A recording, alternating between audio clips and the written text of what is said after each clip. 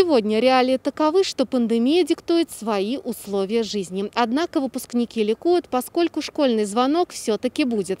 Во всех учебных заведениях школьный звонок для выпускников пройдет 25 мая, как и планировалось, однако в необычном режиме – онлайн.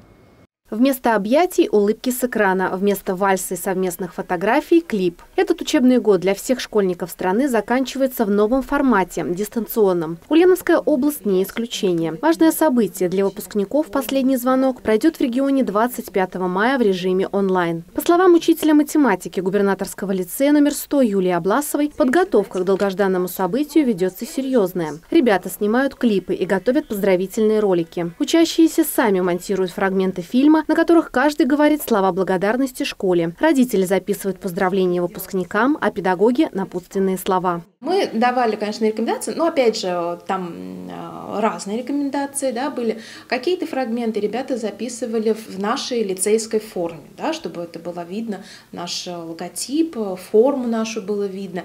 Какие-то моменты, такая заключительная песня у нас будет, она более трогательная, где-то романтичная, и ребята могли а, уже в более свободном стиле ее записать. Педагог уверена, что мероприятие, пусть и в необычном формате, все же подарит много приятных сюрпризов и обязательно сохранится в памяти на долгие годы не только выпускникам, но и их родителям. В семье Салахуддиновых в этом году выпускница дочь Мирослава. Мама девочки Виктория признается, что все эти 11 лет мечтала совсем о другом последнем звонке для дочери, более трогательном и теплом. Но и формат онлайн при должной подготовке может стать незабываемым.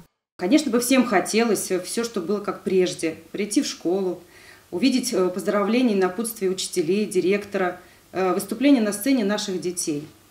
Но так, таковы реалии. Мы, конечно, бодримся, ну и готовимся, конечно же, к поздравлению наших деток.